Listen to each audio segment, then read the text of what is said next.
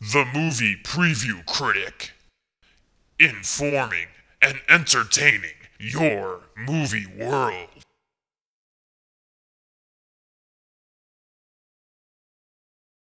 What's up, good movie lovers? Welcome to Movie Night. Today's installment Nightmare on Elm Street Part 4 specifically, but just in general, we're going to be taking a look at the whole Nightmare on Elm Street series, the franchise.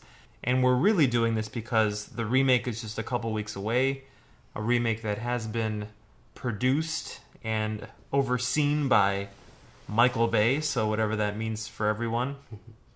It might not be a good thing for Freddy, or it might be. We're going to talk about that. So, if you're a fan of Freddy, fan of the Nightmare series, and you just want to listen to a discussion about the current wave of remakes and kind of what that means, and then join me, the movie preview critic, for a movie night, along with my good friend who you heard on the Total Recall commentary that we posted a few days ago. Nobody, He's- nobody heard that. Come on. come on, dude. People love it. Total Recall's awesome. Did everyone already unfriended me on Facebook? Yeah, I think I've got like you know two. I got like hundred Facebook friends, so at least hundred people have seen it. No. But half of those are relatives and friends from school, so I've got a good supportive supportive family. Mm-hmm. And I think you have like uh, three or four accounts, just to boost my confidence.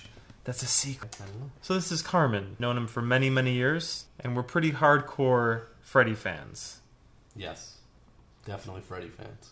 We could say horror fans, horror fans. but definitely the Nightmare on Elm Street series was Freddy's our guy. pretty much, yeah. So we'll what get we into live by. Yeah, we'll get into why why he is our number one out of all the different slashers and all that. So if you haven't listened to Movie Night before, basically it's a poor man's audio commentary. You at home have the movie, you cue it up with us, and right now we're hitting play, and the New Line Cinema logo, the blue and black logo comes up, which I always associated with Freddy Yeah, because I always watched it. I mean, that was their that was their little baby. That was it. Freddy's the one. Well, they said that Freddy is Freddy built New Line Freddy Cinema. New Line Cinema. That's right. So go ahead, press play. We're getting a quote here. We're reading a quote from the Bible. That's kind of daring for a horror movie. Oh, I always get past that part. Yeah, I don't know. I've seen. How many times have you seen this movie? Oh, gee, well, man, I mean, this was, you know, we talked about this earlier, how this movie really defined the Nightmare on Elm Street franchise into a whole new audience. We had it where it started. We we really got to this point where it got a little bit of a Hollywood kind of background Yeah, with the one-liners, right. you know. So this really kind of brought other people into the horror genre Yeah, that wasn't into it before. right.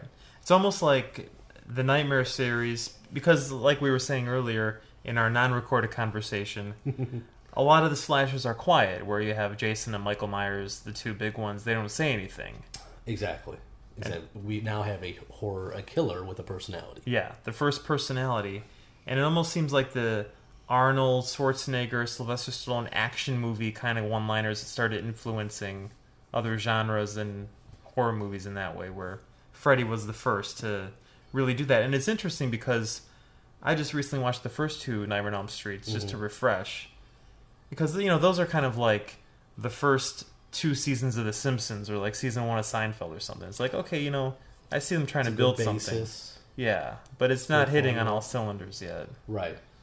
And the you know the first one I think was 84. 2nd Mm-hmm. one it made a lot of you know, the first one made money, so the second one the next year 85. Cranked Yep.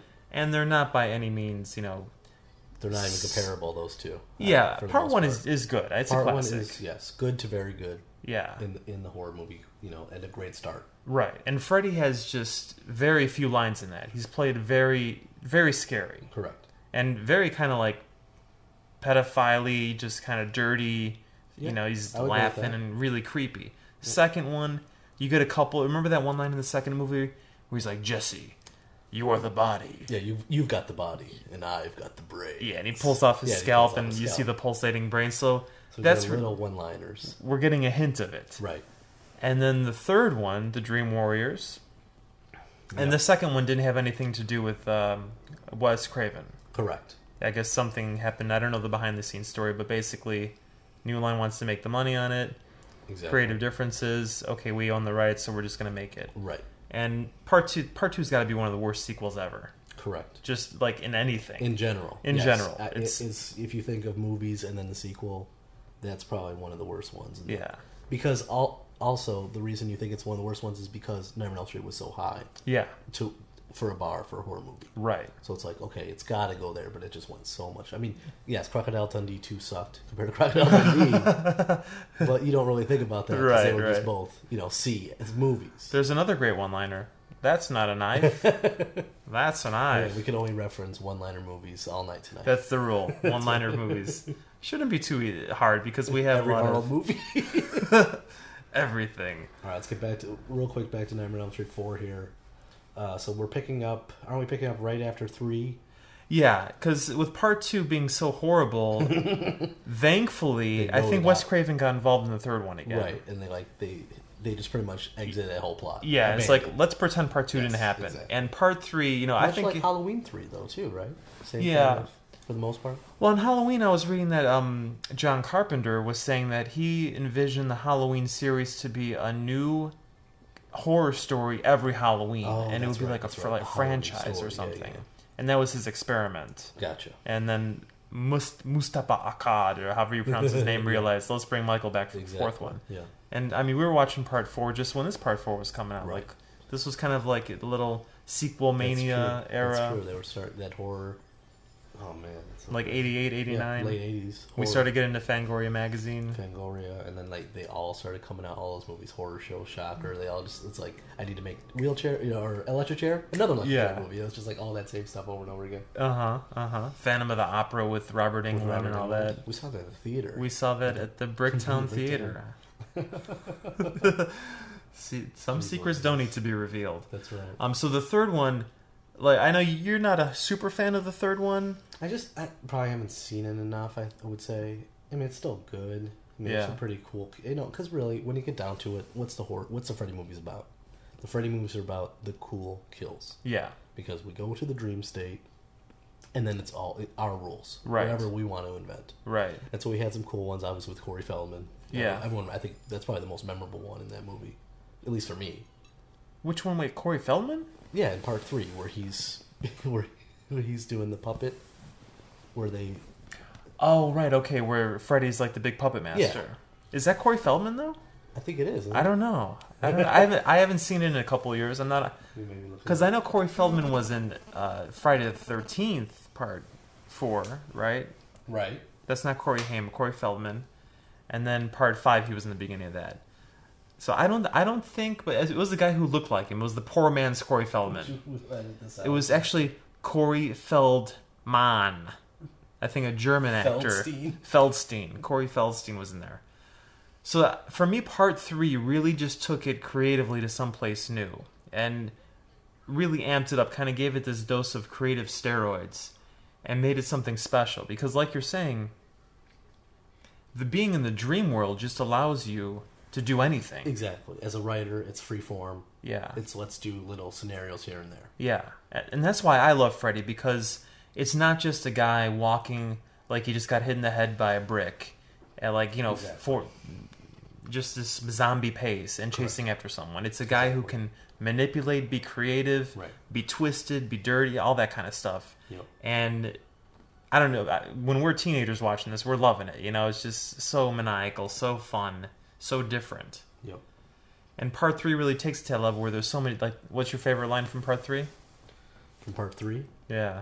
I think you said it earlier, right? I did. Uh, no, I don't remember. Let's get high. Wasn't Oh, it that, was one? your, that was your favorite. But then, cause, and then it follows up with like, "What a rush!" so he really starts. And there's there's that there's that other one in part three. Remember the like, or there's that other, just to repeat that. There's that other one in part three where the Dick Cavett show was on TV, oh, right, the talk show. and then Dick Cavett turns into Freddy, and he's like, right. "Why don't you shut that?" And he just like Yep. And then the TV turns, like his arms come out of the TV and take the girl and like oh, bust her head Oh, into it. Goes right into the TV. Yeah. yeah, yeah, yeah. Awesome. So really cool stuff going on. And of course they bring back Nancy. Right. So it's very much just like that should be part two. Part two doesn't exist. Part three is part two. That's right.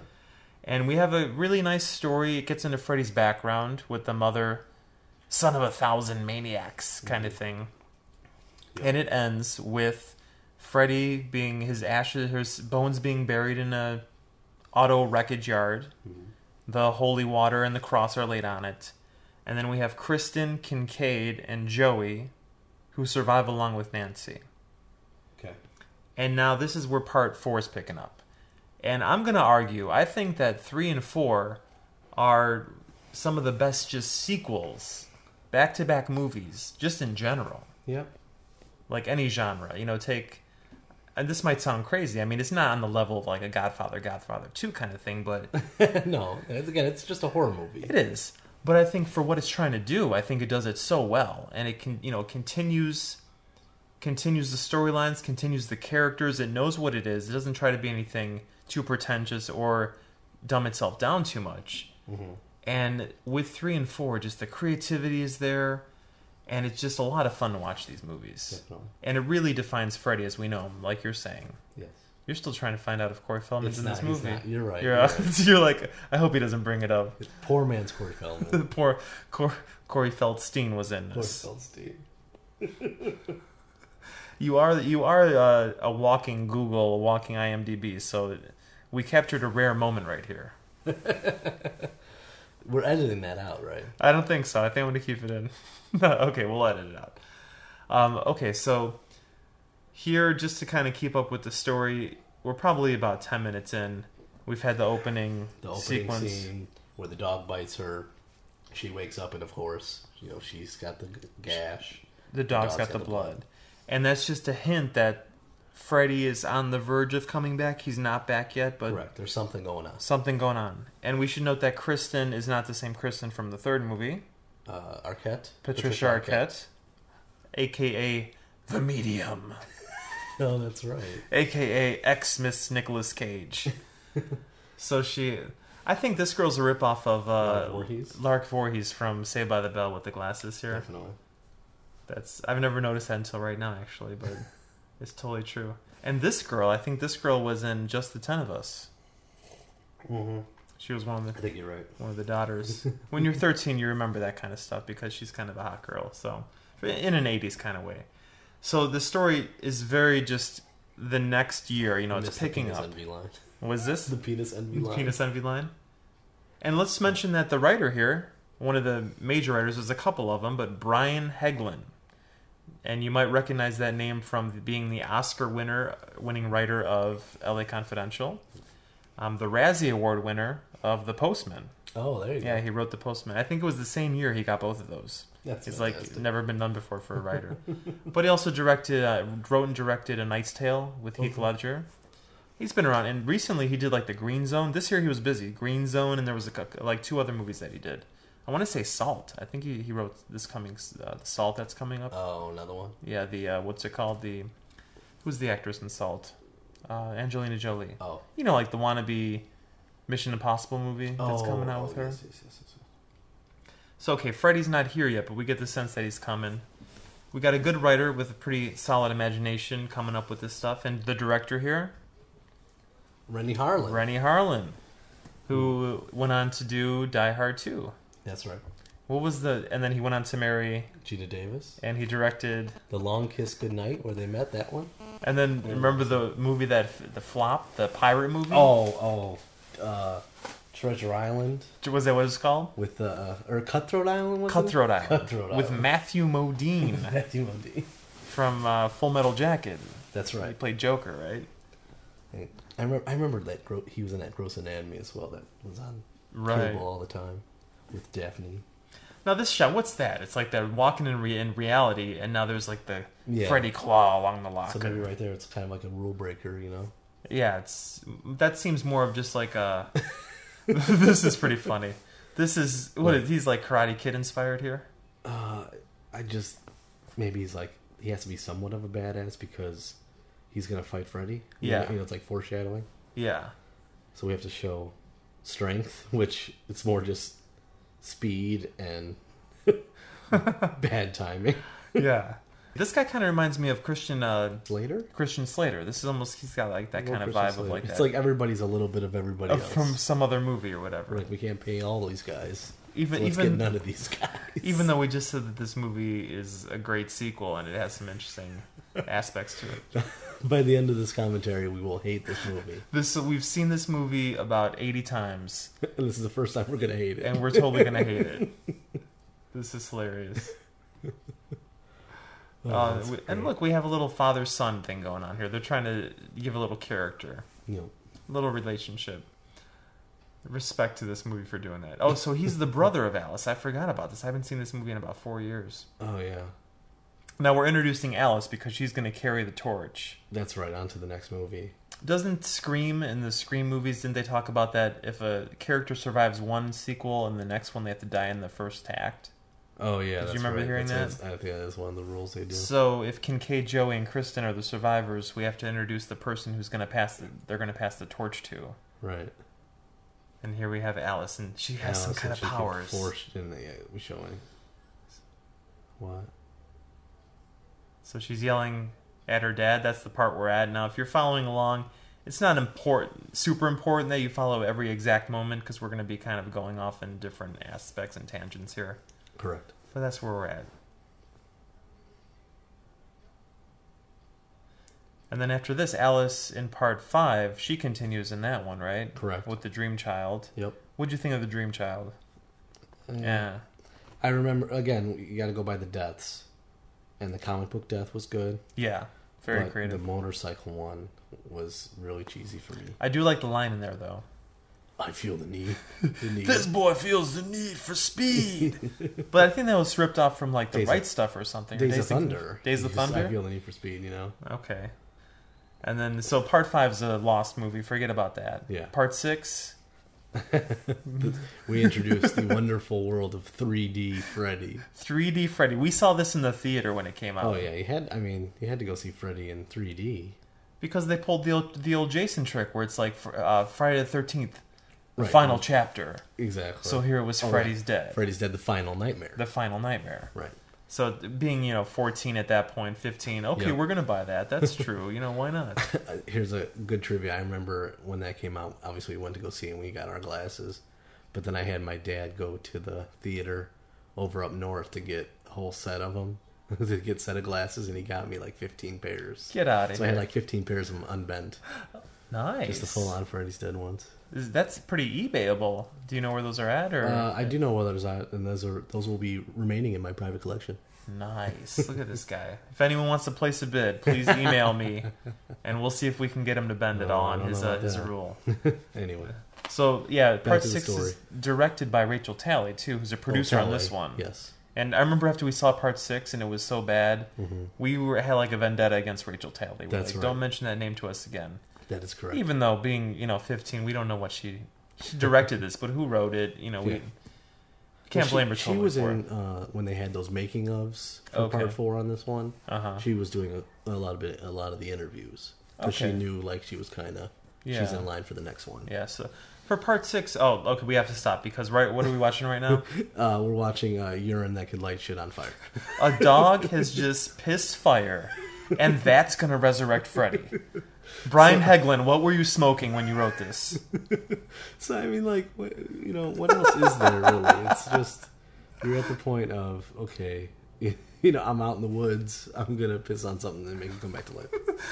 It's like, okay, we know this is the dream world. So Kincaid has fallen asleep, and he wakes up, and he's in he's in the auto yard where Freddy's bones are buried. This is a pretty cool effect. Yeah, coming back Uh, together. I like the and bones the coming cool, together. yeah, and like the skin and the blood and the Yeah, it's gonna arteries, like veins. Yeah, everything's pretty kind of cool here. this is nice, and this is 1989. So CGI isn't like taken over yet by any Mm-hmm. No, means. no. So Well, however, was they- it. Was that remember the special effects guy was that crazy guy, Screaming Mad George, who did this movie? okay. And Are you uh, for real? no, I, I don't think I've Screaming Mad George. No, Okay, I That- thought you're gonna say like Kevin Yagher or Rob Bottin or something. no, Screaming Mad Screaming George. Screaming Mad George, because uh, the cockroach scene yeah, is I think one of the coolest scenes for special effects sure. in a horror movie at this time. And uh, they had some excellent tips and tricks here to get the, uh, the special effects come out right. Nice, nice. So gotta give props to Screaming Mad George. I like the fire on the hand and the glove is there. Exactly. And what do we wait? There's only a couple things left: the infamous hat, Uh huh. and of course, Yes, The there we go. And I know in the theater they're just watching this in general. We're like, yeah, he's exactly back. when the claws come out, you're like, yes, we're you know it's ready for a Freddy rampage. Uh huh. So, like you say, we're waiting for what? A, and that's a cool shot. Renny Harlin, give it up here. We do the shadow. Exactly. Where you And can see the hat visibly, the claws, and they move a little bit. Uh huh. It's great stuff. Very iconic. And this is right out of like an action movie or something. hmm And are we gonna have a, a one-liner here? I think so. Uh, we're watching it with the sound down so it doesn't pick up for copyright issues. And I we don't have subtitles on this, so I don't know what he said. But... I mean, we used to know these one-liners left and right. And by now, Robert Englund's got it down. He knows what's going on. Exactly. part three really focused it, whereas part one and two kind of were just feeling it out, had him more scary. Now he's comic relief. Yep. And you could say too, I think that along with the action movie stuff, I want to say this might have been influenced by like the stand-up comedy boom that was going on late '80s, early No, definitely 90s. the comic relief. Comic you know, relief. I mean, that was huge. Yeah. Stand-up comedy had that huge thing, and you know, obviously, mid by by the '90s it started fading, Right. but you're still trying to get a hold of that. I definitely could see that. Yeah. You, I remember you were a huge fan of um, HBO. The one night stand, One Night Stand. HBO specials, the 30 minute shows. Yeah, I Yeah. used to watch those all the time. And nowadays, seeing people who have been in the business and successful, like a Drew Carey, Jerry Seinfeld, those one night stands were just Yeah, because I mean, that was like Ellen DeGeneres. I mean, there Uh-huh. was so many big hits from you know people from those days. Now, Right. To huge stars. Yeah, they were huge stars, and you know they were in their late twenties, early thirties doing that. And I love the sequence here, very cool, and it just goes to show you how you can appreciate the non CGI ness of it, where this is these are real cars, and they're be, you can just tell that it's been rehearsed, obviously Exactly. blocked out. Yep. I like the shot here. We do a nice Cool. zoom out, Yep. and he's in this maze of an The auto, super maze of cars, and it's like this planet, this planet of cars. Yeah. Oh, and we just classic. Got to get the claws working. tell him Freddy sent you. One down, two to go. Right. So he guts him. Kincaid wakes up. Now wait, is there blood in his chest here? Or are we getting think- gypped? There's I don't think there's any blood in this thing. Now what happened here? So Freddy guts him with the glove, and he wakes up in his bed, and he just happens to be I think uh, somebody screwed the pooch on that one. screwed the pooch, dude. What's up? Because listen, Look at Johnny Depp. I mean, if we think of Never Elm Streets and we think of blood, yeah, Johnny Depp. Johnny I mean, Depp, ultimate blood. quintessential blood spurts. Yeah, You know. that's that. I mean, oh, one of the yeah horror movie classic blood spurts. Now, was that before Evil Dead, Dead by Dawn, with the wall and the blood? Remember when Ash shoots yeah. the wall and like all the blood comes at him? That's Evil Dead One, though, right? No, I think it was Oh, two. two? Yeah, I'm gonna say that was '87. No, that so that was first. No, No. Nightmare on Elm Street was first. '84. 84, then yeah. was that? Yeah. And then Total Recall had the jugular. Right. So you'll get that joke if you've listened to our Total Recall commentary. That's right. It's like we have to force you to listen to the other commentary, so it's all going to be connected. Seriously, we should just do it like Lost. Like we're only got a flashback to Total Recall on this one. Dude, could we get like a lost uh, flashback, flash forward, sideways flash bu- button? yeah. exactly. That sound, that sound effect's copyrighted, by the way. So let's you gotta edit that out. That's right. And here's a callback to the first Nightmare on Elm Street movie. Right here, we have Joey in the Johnny Depp mode with the headphones on. Isn't he watching? Isn't Johnny Depp on the cover of that Rolling Stone? Oh, look at this. Let's take a look at it. What's the? Who is the guy on MTV? What's that? Dave with the gla- with the goggles oh yeah, on. the Dave guy. Yeah. That's a crazy reference. Oh, oh. And this here is- we have gratuitous. This might have been my favorite moment of the movie back in 1989. She came out of the poster and is in his waterbed. Hey, dude, this is creative and tantalizing at the same time. Yep. You think it was scary for that actress to be underneath there? Yeah. Well, I'm sure like right out of sight is like some tank, you know. oh yeah, no, it's, I mean it's just right over the other side. But again, that's they, not. they- again, they showed that in the making of. yeah, I that's that on VHS somewhere. Freddy. How's this for a wet dream? Cla- that is a classic. That's a great line. The claw goes up and the claw comes down, pretty much on this one. And thankfully, I didn't have a waterbed, but if I did, I'm sure I would have been afraid to sleep in one after this. Yeah, I never had a waterbed. And that's just perfect for an image where you have the blood spurting out like Uh-huh, that. uh-huh. So it's a little homage, tip to tip of the hat to the first movie. And we have Joey, two down, one to go. Yeah. So now we're only missing Kristen, right? I just again, I have to go back to that last the kill for uh, what's his name, Kincaid. Kincaid. Uh huh. For Kincaid, no blood laying there. Yeah. The end of that scene, super blood, Super blood. water, Yeah. and the body's gone. You know, Yeah. it's just so ridiculous. So I think Renny Harlin, you messed up a little bit because earlier she got bit by the dog. She's got blood. Blood. I think we are starting to like this movie less and less as we go. Here comes the brother who wanted the wannabe Bruce Lee guy into the room, and she's the Dream Master. Christian later. Christian later, starring Christian later. yep. And this is total foreshadowing, right? Because okay, he's got the moves, so when he fights Freddy, Of course. but now this is going to set her up because she does all the moves later on too. Yep. When she learns what that the whole idea is that she can take the powers of the people he's killed. Right. She has And- obviously the psychic. She's got psychic abilities, and she's able to harness Yeah. that into and use it against him. yes. So yeah, we're showing here that she can't do anything, and then eventually she will, will be able to. And this kind of reminds me of the Hicks and Ripley scene from Aliens, where he teaches her how to use the gun. I only say that because I watched Aliens a few weeks ago, so it's it didn't remind me of it back then when this movie was going on. And look, little comic relief. We got the shoe going into the fish tank. You got to have those light areas. And here, Joey's mom's gonna see what happened. Right. Let's see again, we, The big reveal. The, yeah. We- Oh, you always turn it off. You always leave it on the TV. Everything crazy. Come on, man. Get out of bed. She thinks he's lazy, and he's under the bed. Which I don't really understand, but it was kind of cool when you're watching it. Know. Again, if you built that whole little set Yeah. with the t- with the tank and the water and everything, Uh huh. you're gonna use the most of it. Yeah, yeah. It's like how many shots can we? Exactly. that's a great point. You know. It's like that's it. Let's try it again. Exactly. Because again, now now the dream logic, the dream kill logic doesn't make sense because didn't he just get gutted?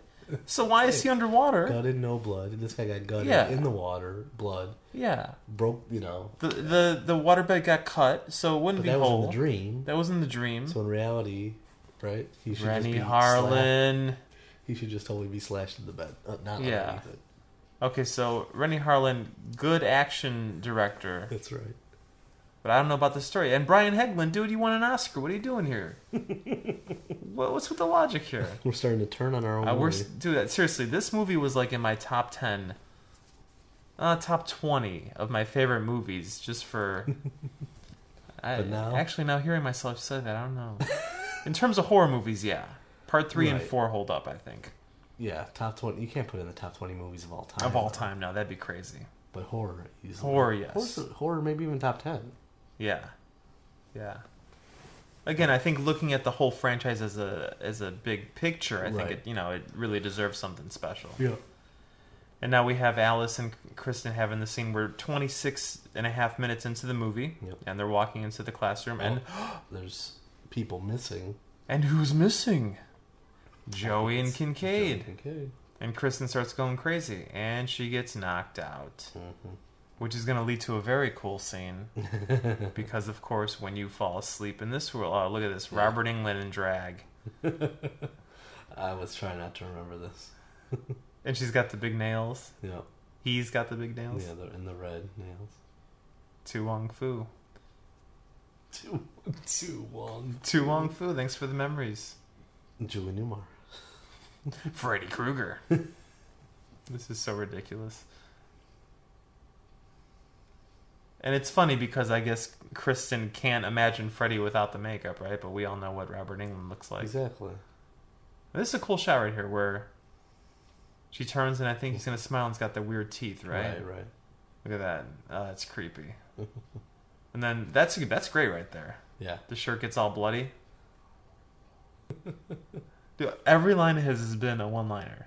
Every yeah. I love it. Said. But they're all memorable, memorable one-liners. Yeah. Because you know, in general, like in a movie, if it's dram- dramatic and characters are fighting for things, they're not going to talk in one-liners. They're going to talk in, "I want to get this from you. You, you have this that I want, and I'm not going to give it up easy." Yep. But you know, this is like an action movie. Foreshadowing the bike, the Crave Inn, the uh, little diner, Yep. which is going to be a great little idea. That well, we'll talk about it when it gets there. But remind me to talk about our one of the coolest um, Star Trek: The Next Generation episodes. I think I have to mention Star Trek every time we do a commentary. I, think you have. Um, the one where like they're looping, they keep looping, Yeah. and then the X Files did one like that, and then the last couple years we've had movies where it's all just you know looping back and forth. There was also one in The Hitchhiker. Remember that show? There was a there was a looping one in that one Okay, too. okay, nice, nice. So great little concept. So here we are. They're in the diner, and Right. girls have crushes on the boys. So now, and let's just go away from that subject. talk to that about the whole. And. Freddy's not in the scene right now, so He's but not. wannabe Lisa from Saved by the Bell is. Look at that outfit, dude. She, she might have been the creation for Urkel. She's female Actually, I was just gonna say she those glasses. That's total Urkel. Dude, maybe maybe we do need to credit our writer properly. Brian Helgeland, you've gained some points back for the respect. We're we're hooking it up. I think to, I think now this movie's starting to influence the '90s, just like Total Recall influenced the 2000s. Oh man. We're watching some prophetic movies over here. But they have not made Nightmare Street Four is prophetic. Pro- I hope that pathetic. pathetic. Zing. I, I would like to see the waterbed though, where you have the uh, supermodel floating under it. That would be interesting.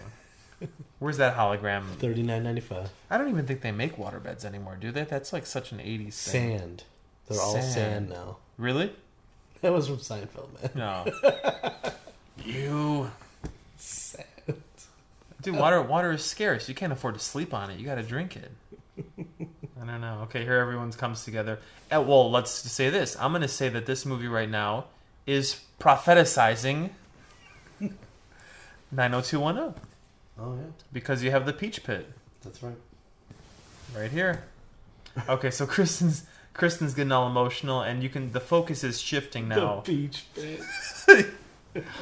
Joe grenade. Yeah, no. Now I don't know why I know that. I only watched like four episodes of that show. Same here. So, but here we have Alice becoming the focus now, and we're Correct. getting to the a- end of Act One. Freddy is is back in action, Right. He's got to take out his next victim. His who's- next victim. the last one on the list. and I'm glad that you mentioned the kills because this is something that Saw's probably done the best. Where you only want go see a Saw movie now because Just of the, kills. crazy torture. I haven't seen anyone past the first one, so I guess I guess the, you watch for the kills. Is that how it goes? I mean, I haven't watched the last three. I, I think I watched the first four. Okay. But after a while, it's just like okay, you know, it's like a big Rube Goldberg torture Oh. device thing. You know, it's so it's like Rube Goldberg meets the Spanish Inquisition. Okay. That's all the Saw movies, pretty much. But you know, they're, I guess they're fun. They're they're they're fun for what they are. But Freddy's the same way. And again, the reason why we like Freddy so much is because it's not Jason where. Okay, you can. I think you empathize with Jason more because he was a kid that drowned, that became a killer, Right. and Freddy is just a pedophile who Freddy's a became bad dude. yeah, he's he's, a, he's a bad dude. Yeah. But for some reason, he's kind of entertaining in this dream mode because he's not molesting anybody or you know, so he's he's killing How- How did teenagers. he get funny? It's just you know, it's just the whole thing. I guess just Like, I mean, teenagers. if you just live, if you worked at a kid's school in the boiler room, you know, doing a janitor stuff or whatever. yeah, You just listen to you got no like, personality. Richard Pryor albums down there. I want that backstory. I want the backstory of Seriously. Freddy listening to all the comedy albums. Maybe this will go out to somebody who could do some last minute updates and say, "Hey, listen, Mister Bay, Mr. Bay and whoever is directing this new movie, I haven't really researched it yet. it doesn't matter really, does it? Yeah, it's just it's generic. Hey, uh, you got you got a strobe light, and uh, could you could you turn the camera all the way down? I don't want any light coming in the camera. strobe lights. All right, let me do a Michael Bay horror movie. I mean, it's everyone. Texas Yeah. Chainsaw Massacre. It's like in the previews, it's like dark and just nonstop strobe lights. Yeah, You know, yeah. just like, give me a break. Yeah, and just uh, in the editing bay, just close your eyes and press the button every couple seconds. Exactly, exactly. And to appreciate that, I mean, you have to watch the original Texas and then watch the remake. And Yeah. just because in the remake there is more blood, Right. doesn't necessarily make it better. or even scarier. Yeah, Because I think the beauty of Texas Chainsaw Massacre, just go off subject for a sec, is that it looks like it is almost like uh, to that like snuff film. yes, You know, it's one of those like I should not be watching this. that's a great point. I've never thought of it like that. Yeah. and that's how at least how I always feel. Whereas like everything is just so Hollywoodized now and stylized, Yeah. and it's just we can just show quick cuts and fake scariness that way. Mm-hmm.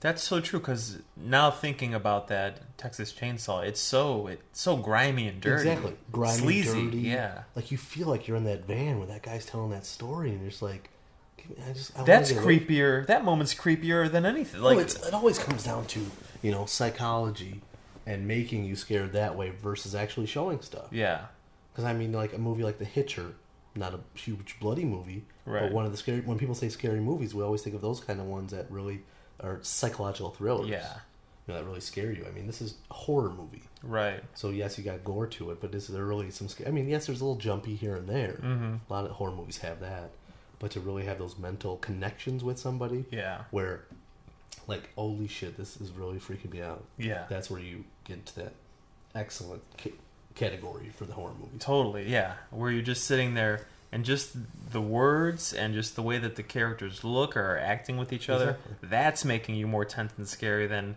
watching a leg get chopped off. correct correct Which I, I totally it's just remember. sadistic and there's no point to it for the most Yeah, part. yeah, and that's you know you can I guess you can complain about Hostel and Saw in those respects, but uh, for the genre of what they are, I guess they do it fine. yeah I mean, they're not trying to be psychologically scary, but I agree with you. I think psychologically scarier movies. I'd rather be sitting here with the lights off, and there's no blood on the screen, but I'm feeling so tense and just like I got to turn this movie off. I can't watch it anymore. right So we're back. We're 35 minutes into the film, and Kristen is waking up on the beach in a Oh. dream. and why is this because her mom gave her sleeping pills Yes. she was having trouble sleeping Yes, and that is the thanks mom mom. Thanks, mom. And she is the same actress from the third movie. that's you're right you're right And I here's a quick story. My dad took me to see Nightmare on Elm Street Part Three because I was such a big Freddy fan, or I was starting to get into horror movies. right He's like, "Oh yeah, let's check it out." And I think I was like 12, so I'm like, "Thanks, you know, thank you, Dad, Yeah, for yeah. doing that." And I just totally remember the scene where Freddy, in the dream, cut off Kristen's mom's head, and he's holding it, and she's still talking, like Right, nagging her and stuff. yeah. So obviously he didn't kill her because she's here in the sequel in the fourth movie. Love that little Jaws callback right here with Freddy's oh, yeah. glove. definitely Again, being creative again. right some creativity Freddy shows up on the beach, yep and we have our saw-ish kind of okay. Here's uh, going to be another interesting kill. What's the one-liner? he puts the glasses on so he just stomps her head into the sand. head into the sand When Freddy puts the glasses on, it's like okay, this is, exactly and he just laughs. just laughing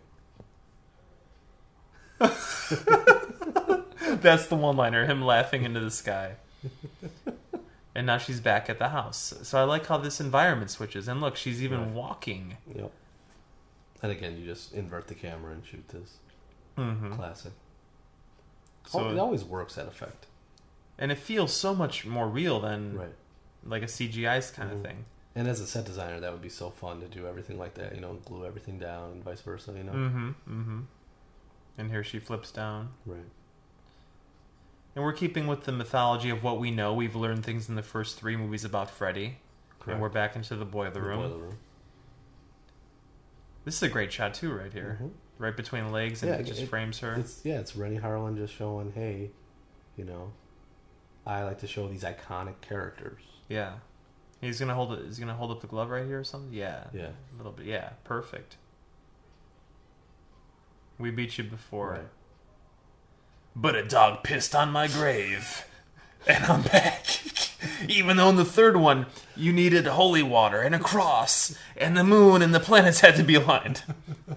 But all I need now is just turbo dog piss. and that wakes me up for some reason.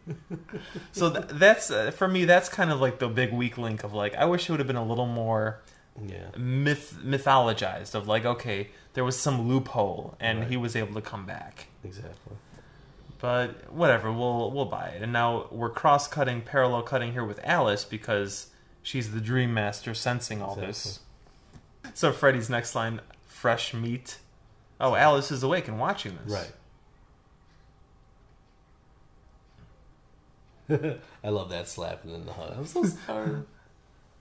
Oh, here we go. Ready with the infamous. Oh, swearing. Yep.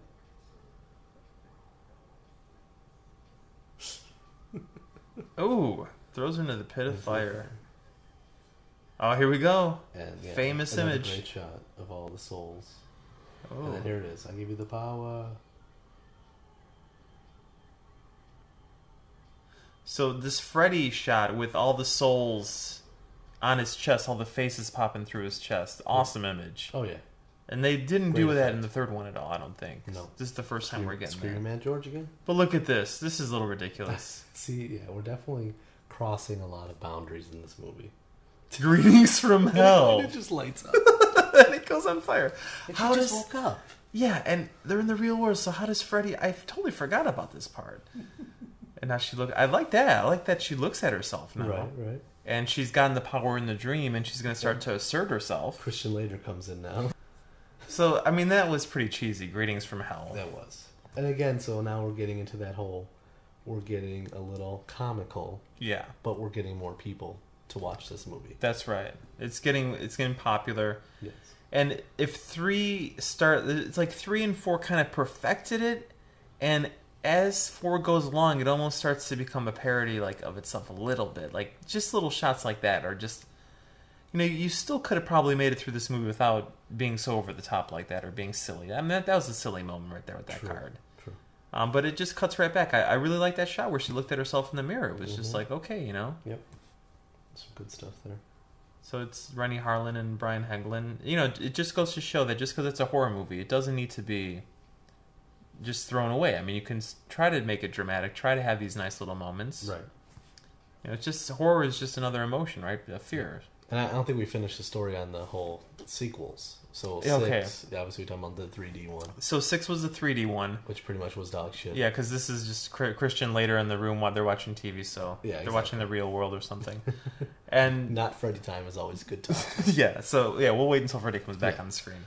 So part six, pretty much all I remember is that last scene where it's like put on your glasses and let's Mhm. just do it 3D and, and Freddy's head coming at you and like all of them blowing up, whatever. Yeah, and they're like swirling So around and stuff.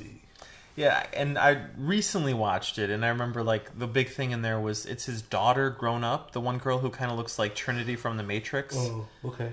Um, she is kind of like his daughter that he had that Oh, he yeah, didn't know right, about, and right. she's the only one who can kill him.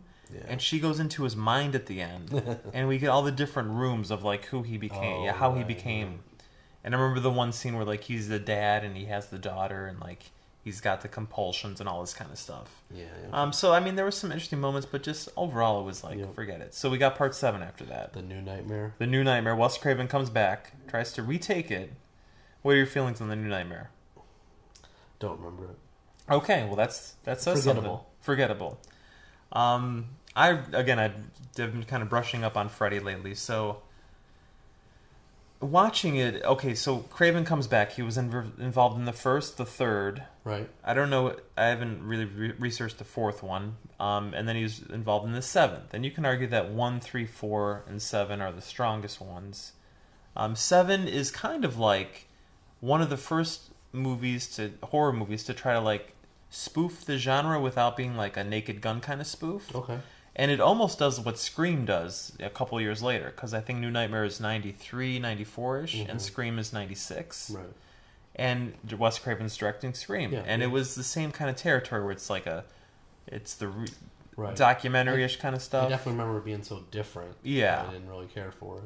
And I listened to the commentary, and Craven was saying that Freddy was supposed to represent some kind of just evil force that manifests itself in movies or in st- our storytelling in general as humans. Yep. And that's why he kind of looked like he was on steroids in that one. He's like really big, Right, right. had like the bony kind of glove. Yep. And then um, Nancy was back in that one. Yep. and she had like her son and Freddy was trying to possess her. So kind of part five ish stuff going on there with the dream child. But it was alright. It was alright. It wasn't like the greatest movie. Yeah. Okay, so from there we go To Freddy versus Oh, Jason. Jeez. What's the word on that?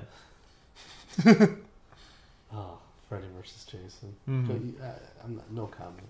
Well, I'll say this that oh, by the way, one of our favorite one-liners in the movies coming up. This has got to be one of the greatest Freddy lines. Want to suck face? Wanna suck face.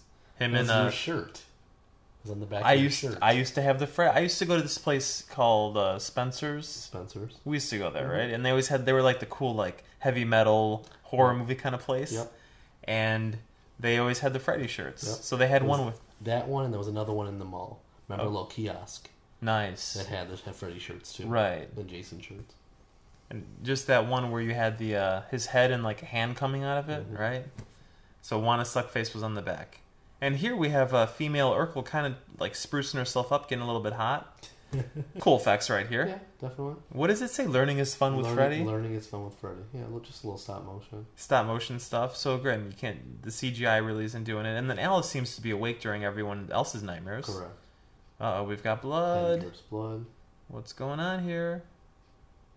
Yep. Those are some big ass glasses. So now Alice is aware that she's in the dream and she needs to help. But why did she start smearing it? That's so weird.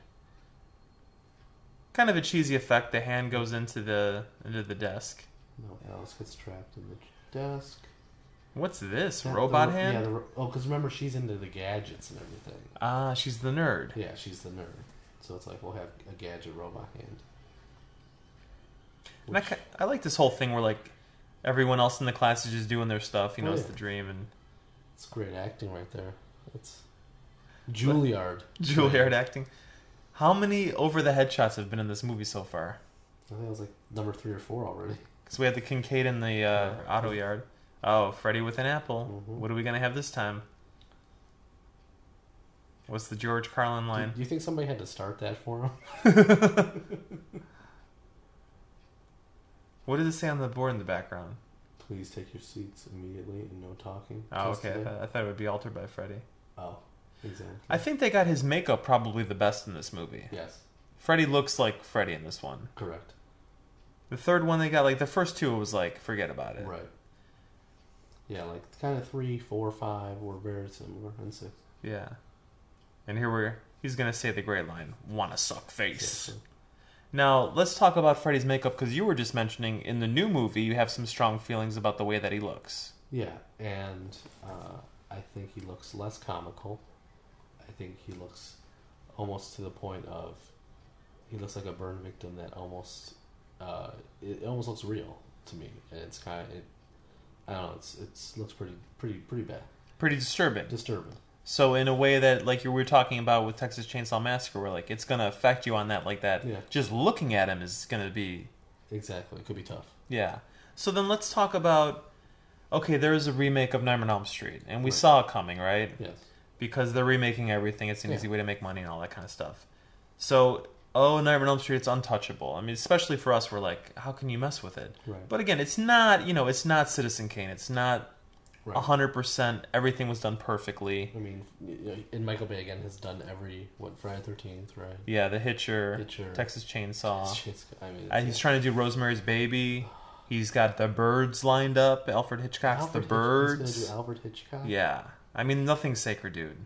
It's once he got away with Transformers 2, it's like I think I think personally he's daring us to stop him. He's just like, what else think- can I, think do to piss people that off? before? But it's yeah, it's definitely to that like I can do whatever I want. to. Yeah, because I mean, The Hitcher is another like it's a movie that doesn't really get recognized, but Rutger Hauer in that movie yeah, really just Scary. nice subtle scariness. You know, he's Yep. like a he's the guy who you got a restraining order against, but the cops can't do anything about it. And it's very. But then you have Sean Bean in this new one, and it's just like, ah. Oh, what's the thing? We change it because the girls, the guy's the one that dies in that, and the girl's the one that's empowered. yeah, So anything, whenever a remake comes along, it's always like, okay, how can you make it better? If you mm. can make it better and add to it, and whatever areas were lacking in the first time, if you mm-hmm. can fix those, then go ahead and do it. Yep. So I think Freddy's makeup, that could be argued one area. I mm. mean, it did look kind of yeah, a little bit, a little bit cheesy. right. I mean, it, it looked more It's- cinematic than real. Cinematic, yeah, and which also kind of goes i.e. fake, you know, yeah, versus this where it looks a little more real. yeah, But again, what are we? We're only seeing it in a couple shots, right, low light, Yeah. backlight, right. you know. And you do like the actor, Yes, definitely. Uh, obviously, we all watch Watchmen. So Jackie, Jackie Earle Haley. Earle, Earle Haley, and it was filmed here in Chicago, so Oh, okay. kind of like that. Yeah, so Jackie Earle Haley, of course. Uh, uh, I remember growing up uh, from Bad News Bears. Kelly Leak. I watched that movie probably a hundred times. Holy cow! Wow. Yeah, he was a little Kelly Leak. You know, the, the great pitcher or the great hitter Mm-hmm. on the team. Uh, But he can play creepy. And then he had, you know, his he you know he left Hollywood, came back. Little Children obviously got you know he got the Oscar for that nomination. And then uh, Watchmen, which uh, you know love it or hate it, uh, you still have to look at Rorschach's performance, and it's it's easily the best one in the movie. Right. And yes, he's you know the, the character that everybody loves as well. If you read the you know if you read it before and you were waiting for it to come out, Yeah. you know the fan favorite, Right. and I think he he pulled it off. Right. So he's got the skills. Yep. And that's it. If you put talent behind Yeah. a role, Exactly. someone who can kind of bring that depth. Right. Because I mean, when you think of Robert Englund, you think of Freddy. So there was nothing really before that that we were like, "What's Robert? What's you know, what's he gonna do?" Yeah. And so it's kind of nice to have an anticipation Right. that okay, we know Jackie Earle Haley is good, Right. so give me good. But can Freddy be scary again? Because we've seen him go from scary in the first movie Right. to slowly scary and, and more comical in the rest of these sequels. To even downright cheesy. to super cheesy, Right. yeah. So, how can he r- regain that in our minds in our cinematic? Just you know, when we're going there as fans, okay, I'm going to be scared by this guy who used to make me laugh. Well, I, I think you know when you go when you talk about a reboot, you know you talk about pretty much redoing the walls. You know, Mhm. you're, you're you're setting a whole new canvas. Right. So all bets are off. You shouldn't come in there with any expectations. Obviously, know the source material, which everybody does, Mm-hmm. but just it's a whole a new artist view. You know, I mean, you tell two artists to get, paint me, you know, Starry Night, you know, Right. you're going to get an infamous painting, and another one's going to be a little wa- watercolor piece of shit. That's a great example. You know, and so now it's just, hey, give me a Freddy Krueger story. You have one, and now we're going to have a whole other take. Yeah. Yeah. So now, in terms of the story, it seems like they're pretty much sticking to what's come before. Right. It seems like they're kind of combining the first two because there's some shots in the second movie. I had forgotten about this. We get a little. We go to the uh, factory where he was burned, where he used to kind of kill the children, all that kind of stuff. And in these previews, we're seeing the factory in it already. So that's all going to be included in the first movie. Yeah. I mean, so smartly they cut out all the Jesse stuff from the second movie, kept all the Freddy material, Yeah. but you're still getting the same bathroom shot, the claw coming from the through the water. Right. Right. You're gonna get all pretty much. I'm sure. Obviously, you got to have the Johnny Depp with the bed.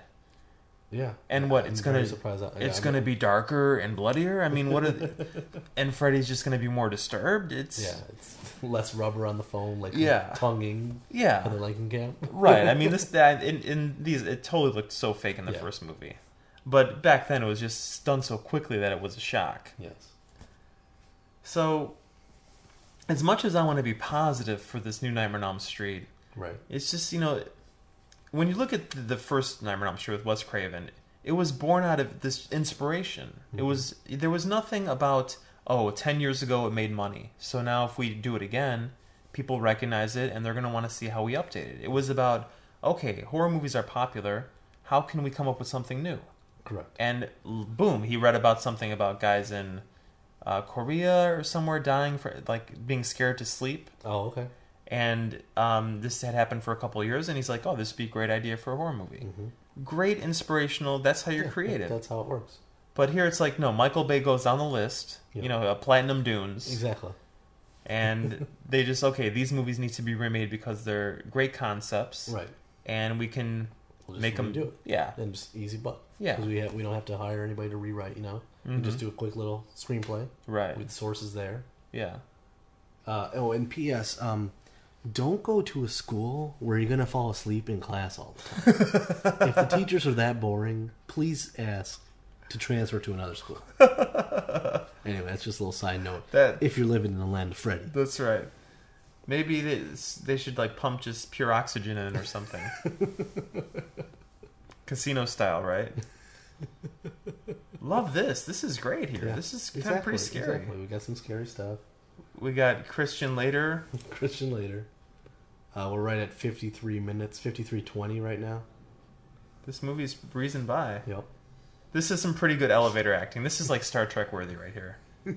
It's like, okay, elevator is going very fast. Okay, okay, go to the left, go to the right. Oh, here it goes. It's sucking you Arf, in. Feel the Oh, G's. feel it. Look at that. Look at the cheeks. Oh, And it goes level to 13th floor. 13th floor, upside down number. Exactly. That was kind of. He fell asleep in the John. I mean, come on, come on, Bruce Lee. What are you doing? Look, and Al- I'm gonna. Falling asleep in every class. What does this remind you of? What movie does this remind you of? Uh, maybe Big Trouble in Little China. Or The Matrix? Big Trouble in Little China. Look, I was I was gonna say Cocoon. no, yes, we have a little dojo Matrix styles. So, So- Wachowski brothers, or I guess it's just one brother these days. Yeah. We know Oh, the Wachowskis. We can say the Wachowskis. Okay, we say the Wachowskis. we know you. We know your secret. Seriously, Nightmare on Elm Street Part Four. I'm not buying you a drink. But let's give this. Let's give uh, Christian Slater some uh, props here for fighting, uh, acting against an invisible uh, right. co-star right here. Everybody's good when they're being pulled by strings. That's right. But look, now he mans up. He's like, "Okay, Freddy, now I gotcha. Oh yeah, there we go. we're uh, we're watching a fight sequence with Christian Slater fighting the air." himself. Oh, Oh, there's the glove. glove. Okay. Oh, I, I forgot about this. This is cool. So the glove's gonna fly up, right, right into his Yeah, gut. Exactly. Which is, oh, I mean, Don't ruin it. don't you kind of have like a block for that? Come on. He only made it to like Drum technique. drum technique. Cobra Kai didn't teach him that. Exactly. Oh, he's only a green belt. He's got the green shirt. Ah, that's like a white see you belt, later. actually. A white belt and a green. Okay, and And again, she wakes up from a dream. Why do the windows blow out? But maybe that was like, hey, we got 200 bucks left. Do you want me to blow these windows up? and then, and Reddy takes off his headphones in the chair. Launch them.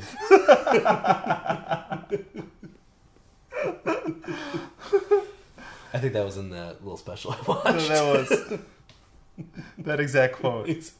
Even the special was all one-liners. that is funny. But maybe her Dream Master powers influence reality. I guess that's what they're trying to say. Oh, uh, I don't know what they're trying to say. Yeah, so she wakes Because up- They've already broken every rule. No, and the windows blow out. Right. Oh, no, this is a great dream sequence here. Exactly. So that means she's falling asleep at a funeral? Yeah. So she's really upset. These kids are taking some hardcore drugs, dude. I guess in the late 80s, they weren't addressing this kind of stuff. Well, at this point, MTV's only like four or five years old or something, right? When did MTV start? 83? 80. 80? Yeah. Oh, so it's nine years old. But I guess it wasn't so hip on uh, teens taking. What's the what's the uh, sleeping pill of choice? Some with an A. Ambien? Ambien. There's an Ambien epidemic at this at this school. no, come on, they're all trying to stay awake, right? I guess. NoDoz. Truck or crank. For real, dude, this guy's Christian Slater. Peace out, dude. But that's a nice moment. I mean, it's just a. But no, wait, this Christian is more. Or, or uh, Skeet Ulrich uh, on a bad day. Skeet Ulrich. This is the precursor to Skeet. But this, you know, that would seem more of like a daydream because if it was a dream, it might have been Freddy, and he would have done something scary. But it was just the guy. It was Christian Slater coming Right. out and being like, "Okay, Right, sis, right, given his goodbyes. So was it more of a state of her, not in a dream sequence, but in a kinetic or psychic? psychic, kind of emotional. Yep. Here's an interior little uh, window into her soul kind of thing." Gotcha. And we've got the final three now. Yep. And now Freddy. with final three. Now we're at three more. Look at this. See, So, so, right there. We're at that turning point. And now we probably got about what 35 minutes left to go.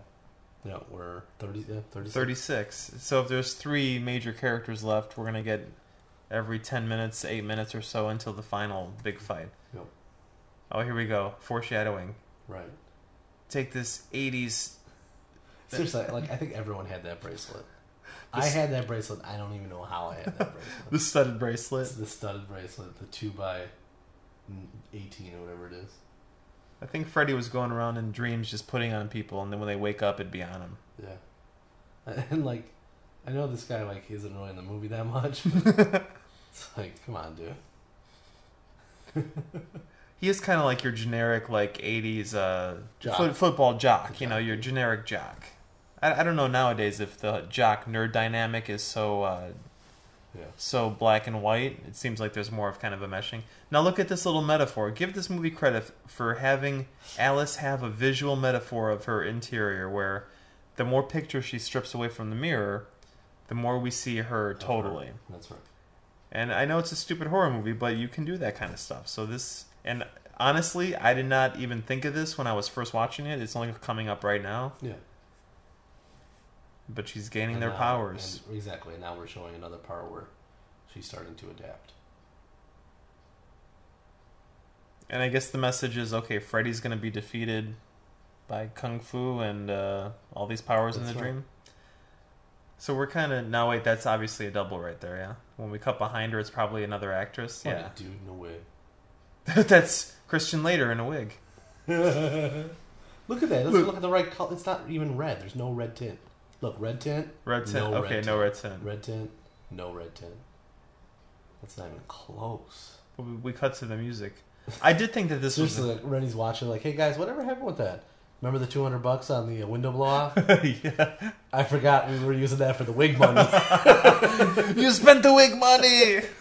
what are you doing, stupid? You spent the wig money. You ruined my movie.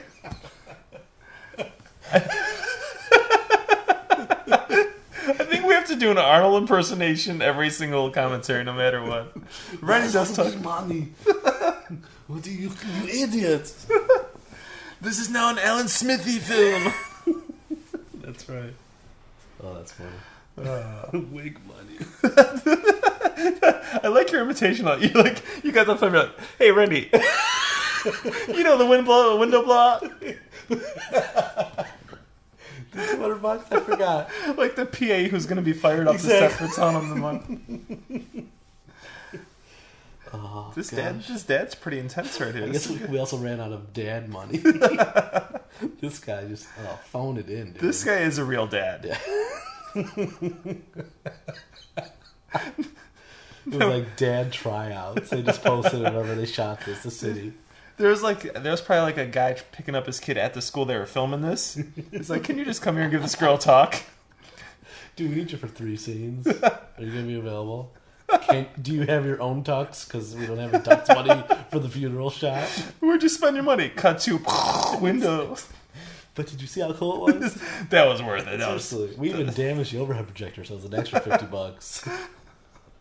Oh, here comes Yes. coming up is one of the great, probably So let's well let's set the whole thing up, right? Mm-hmm. So one of the probably the greatest kills in Nightmare on Elm Street four.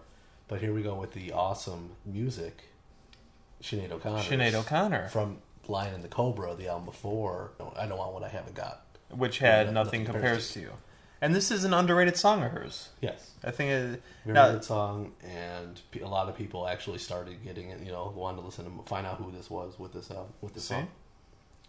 so Nightmare on Elm Street Part Four, propheticizing Sinead the career of. Sinead O'Connor and her And later SNL blow up. rip up rip up of the picture of the Pope on. SNL, which you could probably YouTube or something. Yes, Which you Hulu maybe. let me cut. that. Which you could probably find on the internet. I don't want to do any specific websites. Yes, you can go to your favorite website and watch it. And do a search for Yes. Sinead O'Connor and Do Pope picture internet search.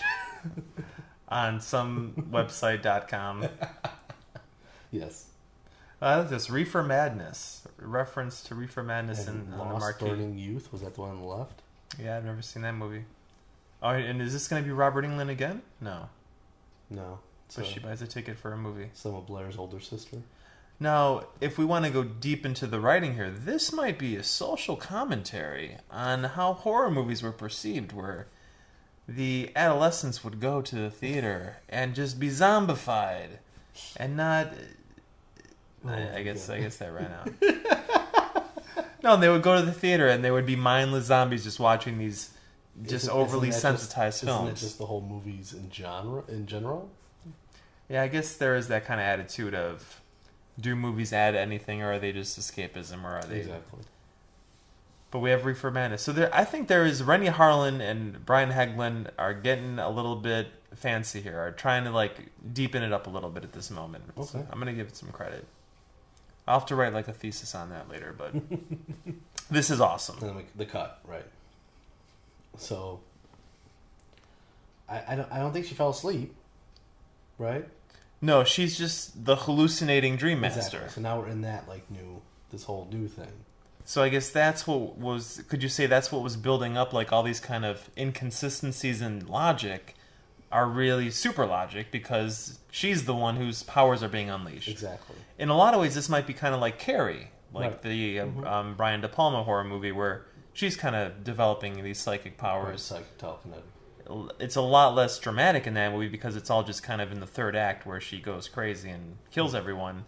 But here, Alice is slowly developing uh, hallucination, power, dream reality stuff has been influencing everything. Exactly. Oh, there it is. There's the move from Total Recall. I- Everyone, you need it in every movie. every movie. I need to get sucked Listen, into it. there needs to be an Seriously. amusement park ride where you hold on for life as something sucking you towards That's something. Correct. I think seriously, I think maybe if we go through all of our list of our top twenty movies, every single movie has a suck into. it. it has, it has a moment like that.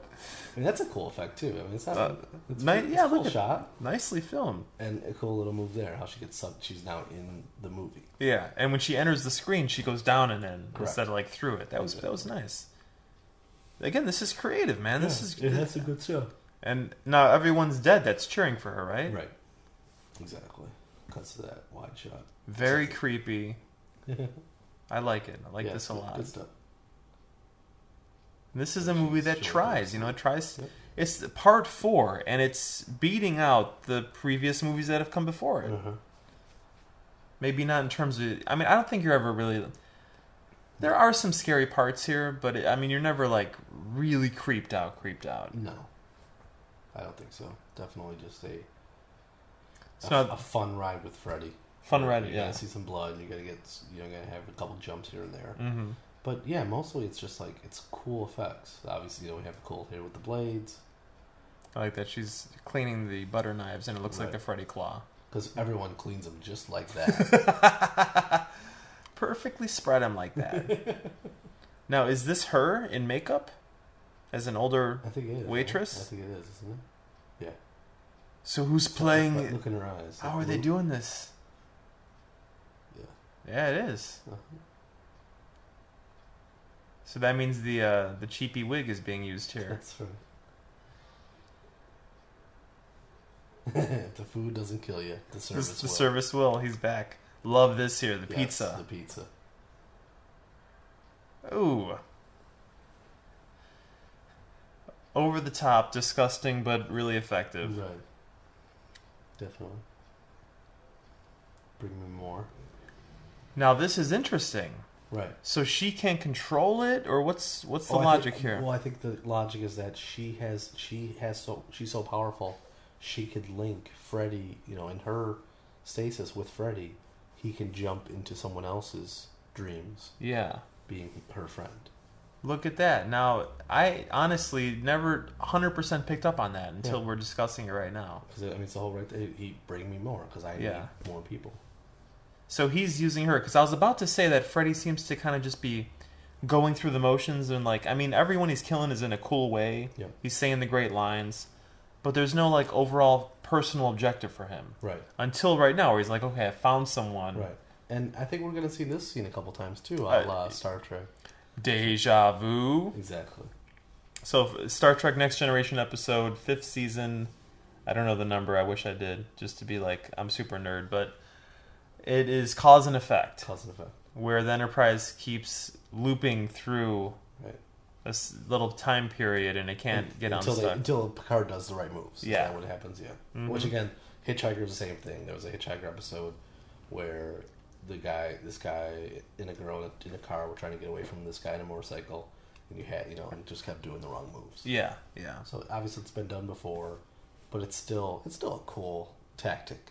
It is. And if you just if you put in the right spin on it, I know the X Files did one where like there was a bank robbery, and uh, Scully or Mulder were in line at the bank, Right. and there was like you know someone the looping was going on the way you broke it was like the person couldn't get shot I, I don't know exactly. Exactly. They're always something like that. so alice and jock 34b whatever Yes. model you know just the guy has no character or Right. personality here they're going to start driving around and constantly being looping back and forth so that means she's still asleep and they're all in the dream they're not in reality No, I think I think their uh, their Alice is in reality, so how is freddy But affecting the reality but Freddy's somehow doing it Well, I through want- her I want to watch this break. okay this is your favorite moment here we go Oh, oh that is so killer. Oh.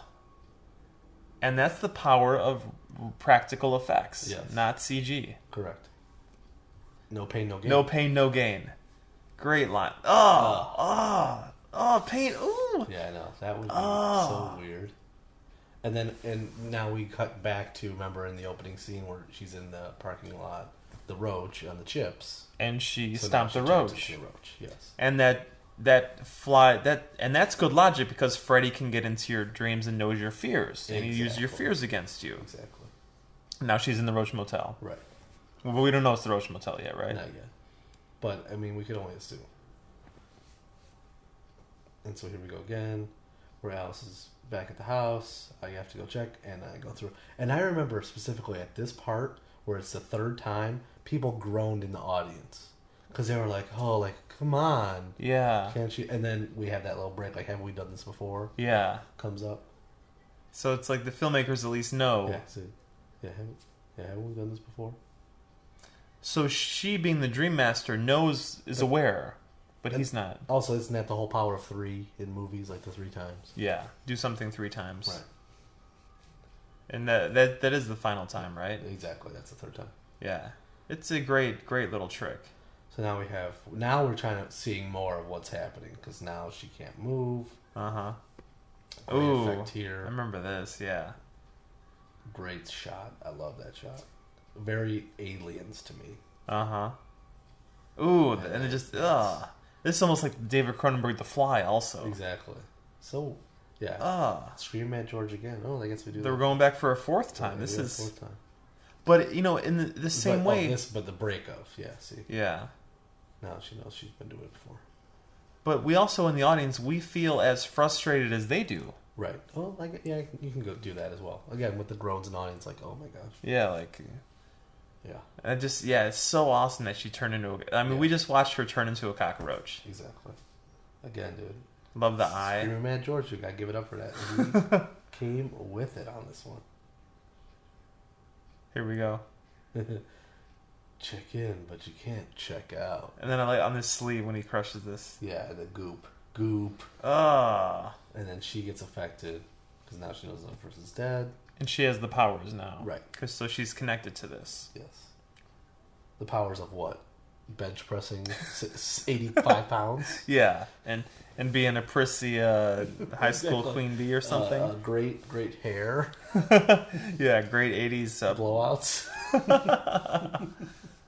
and we have, uh, but it's a tree.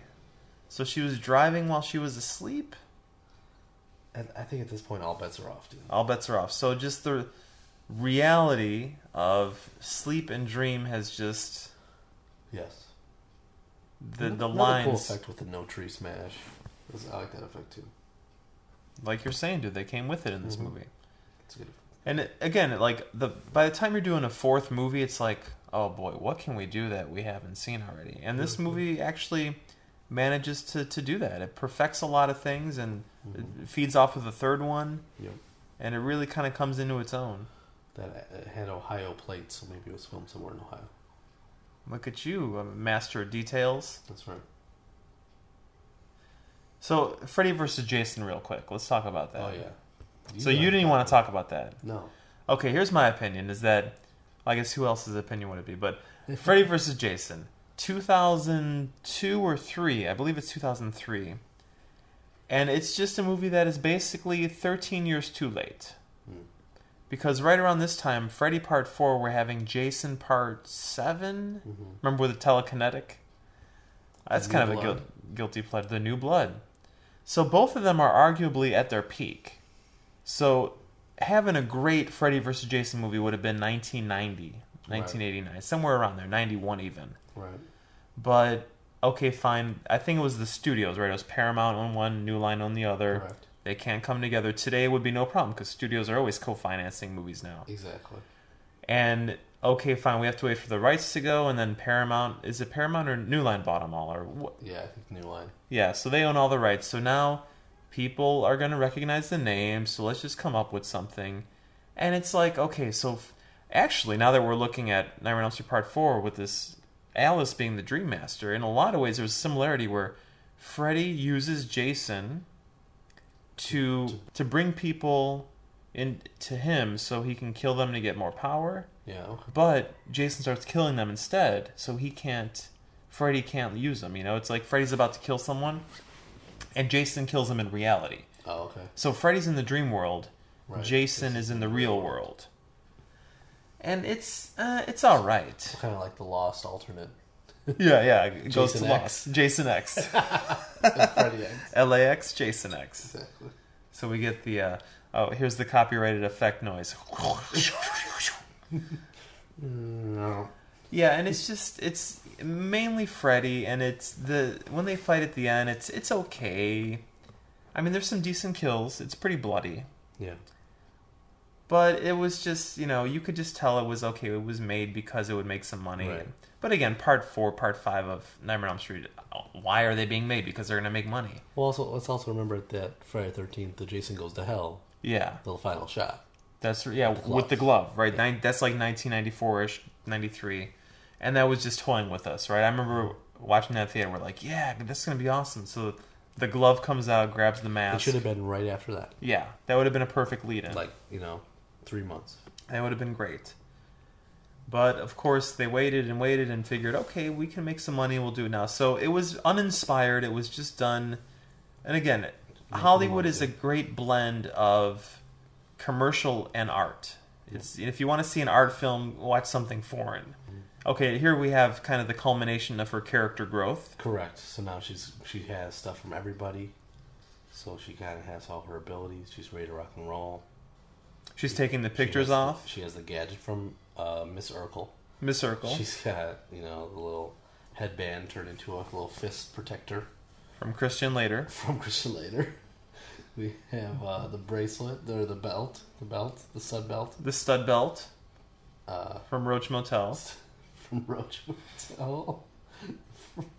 Seriously, it's like uh, uh, Jessie Spano or Je- Jessie Spano, dude. Jessie Spano and uh, Lisa, what's their character's name? Larg Larg Voorhees, his oh, character. oh my gosh, it's all Saved by the Bell. dude. it's, it's Saved by the Bell. Seriously, that's like Christian Slater right now.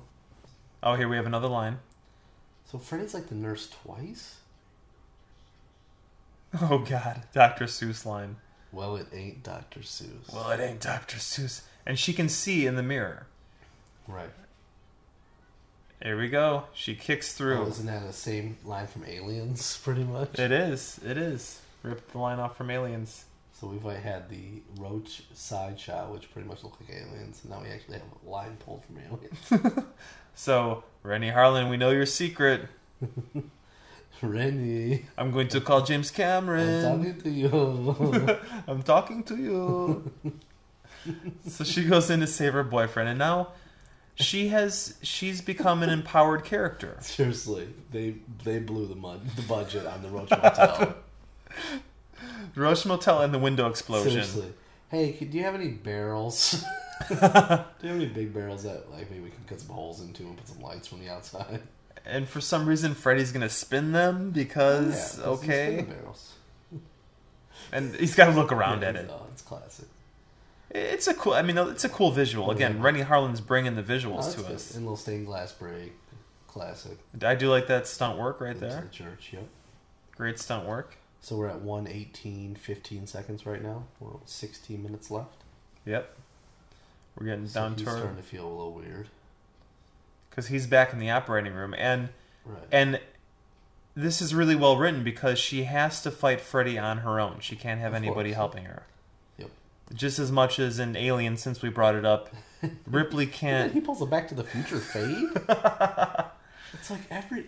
Seriously all bets are off for the like the transitions from death to reality to death. Like there's so much crazy stuff. Yeah, there's a little inconsistent. This always bugged me for some reason. The way he kind of comes up, he's like, "Don't worry, son, you're gonna make it." And it's like just this. I don't know, widescreen lens just makes I, his I face think it was Just, kind of like a play on the Freddy, you know, because like sim, but it wasn't not similar to Freddy. I know what you mean. yeah, it was always a weird kind of thing. Yeah. Here we bring the choir back. That's a great little shot. Classic. And just and we have a horror movie here where a female character has undergone a change and grown. Yep. Why not? Oh, Welcome to Wonderland, Alice. Alice. Freddy and his lines. Yeah. And it, it, every shot when he says the line, it's it's filmed just like an action movie It where is, you know. it is. The nice close up. We have some great lighting. And here we go, karate time. Yep. Oh, and the crazy walk. Remember that? the fast Freddy walk. Okay. Kick in the face. kick in the face. Punch in the face. And all I do is gut, keep laughing at face. you. Slash in the face. His makeup is really more. his makeup is really good here. It is good. But it's not scary. It's more of just Yeah. you know. Yes, we know he's a burn victim, but it's just yeah. There's it's there's just layers to it. I think. Mm-hmm. slash, jump over, kick in the face, kick in the gut. But again, it's the dream world. I mean, he can do whatever he wants. Exactly, exactly. We have we actually have a little bit of conversation here. Mm-hmm. You've got their powers. I've got their souls. Exactly. Come on. Let's give him credit for uh, choreographing a fight on the pews on the top Yeah, of them. Actually, kind of works. Except you don't have any wide, sh- very few wide shots. Yeah. So uh, Because at that point, it's a dark-haired wig. Christian Slater is uh, stepping in for. Seriously. Christian Slater and, and fifty bucks. Why are we ragging on him so much? He's trying to do a good Oh, job. Christian Slater? Christian Slater, he's trying to do his job. No, come on, man. Oh, this pop up behind, Yep. and now he's like trying to get her on his side, right? Yeah. Little seduction here. so that's good. Freddy, uh, he's stepping away from the one liner for a moment. Mm-hmm. He just whips her. Just rips her over. Can I Okay, just- so kick up. I think somebody The wind taught her to machine? do that. And then we have the wind machine. Wind machine. And that's kind of like a Wild Wild West thing right there, like a Western where he's got the gun at the side. Exactly. Oh, what he's like? What is he scared of her bracelet? I think she has a fist. Oh no, she's gonna use the nerd device. Exactly. Oh, what is she Supercharging it. supercharged? And for some reason that affects him here. So this is like Star Trek, uh, Best of Both Worlds, episode two. I thought you guys a conspiracy with the Um, head explosion. Mr. Worf, fire. And it's just like, whoop. Gotcha. I, I like that. I like that a Yeah, lot. and that, I, that was another groan in the audience on that one. I remember. Oh, like, really? It was like, oh, like we did. He, she did all that awesome work. Yeah, and he just fixes himself like that. Exactly, So that's a dream. how can so y- when you're watching this, you're like, okay, you're doing these kicks on him, or you can use high powered laser, and nothing's gonna hurt him. High powered laser. Seriously, like Lady Urkel knows how to make high powered lasers. Lady Urkel. so what? It, oh, okay. Now this is even all bets are totally off here. Exactly. She gets a piece of the stained glass. Yep. Take a look at yourself. So Freddy's never looked in the mirror. Um, it's very possible he's never done that. And here we have a colonoscopy of uh, Freddy with. That's We got some tumors who are right. So now it's just you know all the souls are gonna get out of Freddy's body, and we have some great, great effects here. Awesome effects. Where these effects are, those are real hands. Everything's just zoomed up. You know, everything's to scale. it's like a huge, Yeah, that- huge wall. That part's a puppet when Freddy's fighting Mhm. the little hands. That's a little puppet. But the ones that like where they come out of his skin yeah, are just full on. those are real people Real going people. through. I actually remember that doc- part of the documentary. And so it's a little great setup here. One out of the head. There's the head one. Oh, that's so yeah. It's very very cool. so creepy. And then we have the great, great chest coming up here. There we go. People coming out. Uh huh. Yep. It was awesome. It's like three people through this like rubber, great little rubber. Uh huh. Just really works. And that's a great shot there too. I mean, it's like puppet, and then like it's cuts, and this is like real people. mm-hmm. Puppet again. Yeah, it's great shots. Very well done. Yeah, good stuff. Ma- imaginative. and- and- imaginative, and scary. Yeah. it's just like that's really just it's almost it's a little disturbing. Like It- all these bodies coming out, you know, and then like this great Oh, and then his head gets the ripped. head ripped apart, glass Oh. breaks. Souls escape. And comparing it to the previous movies, it's like, okay, how are you going to kill Freddy? Right. First one, he gets burned. Mm-hmm. Second one, he gets burned. Third one, buried with all the holy water and Exactly. religious artifacts. Yep. And now, this was great. Yeah. Now it's like, does he really have anything left because the souls have escaped? You know, Yeah. Where, where does he have his power from now? So maybe he really is dead. believe he.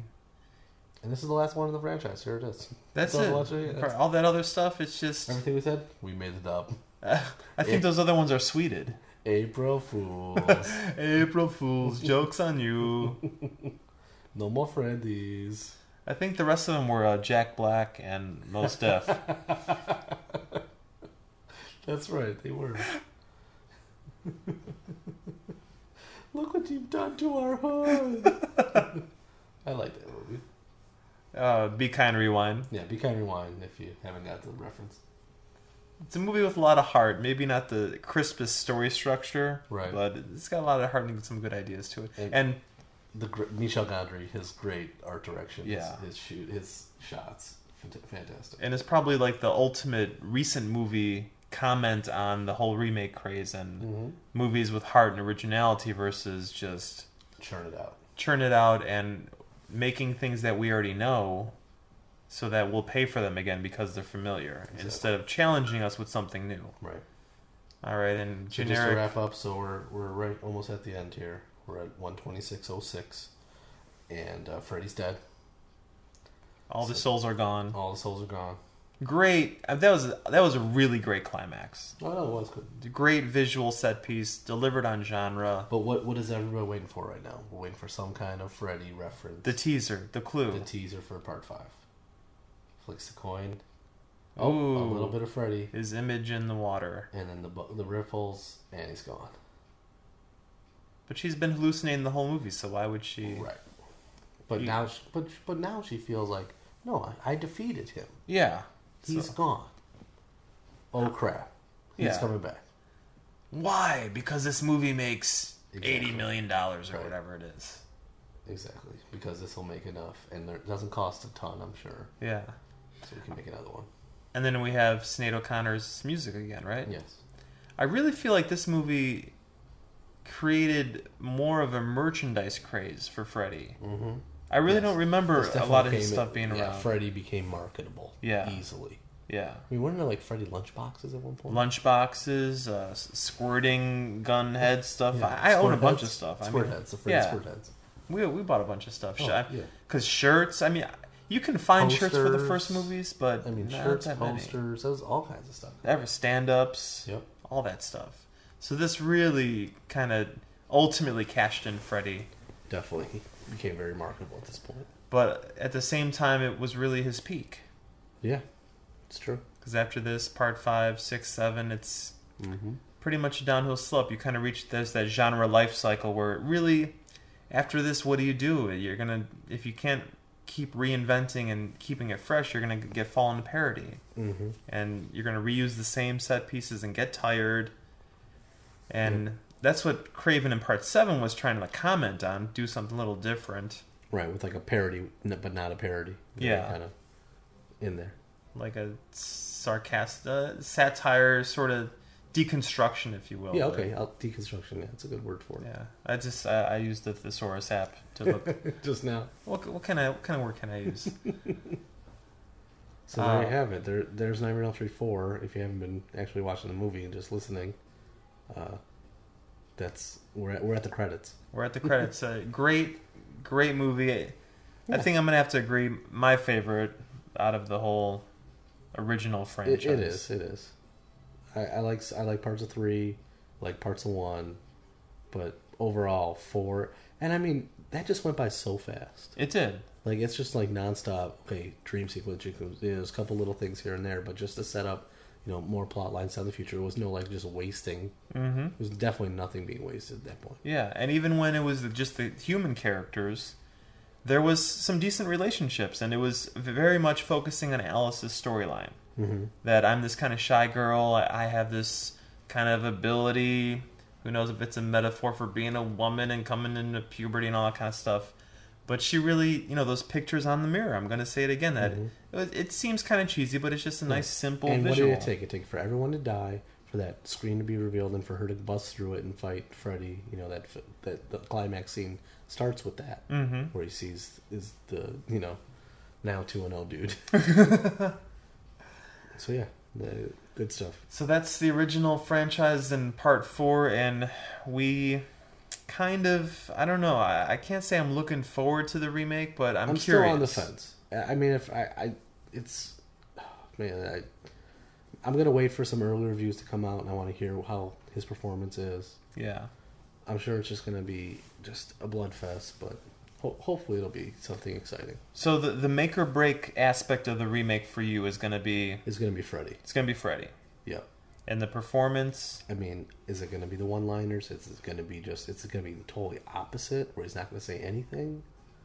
You know, I just, um, I, I, we'll see. We'll see. Yeah, and I think my vote's going to be. Here's what I think is going to happen. This kind of quick preview review is going to be that because it's Platinum Dunes, because they did Friday the Thirteenth, The Hitcher, Texas Chainsaw, Mm. and they all made money. Yep. They're gonna keep going with what works, and they're gonna take all the iconic moments from the first two movies, Mhm. make sure they're all in there, and they're gonna just like you said, they're gonna keep it dark, hmm keep it, get the strobe lights in there, uh, keep the editing crisp, Yep.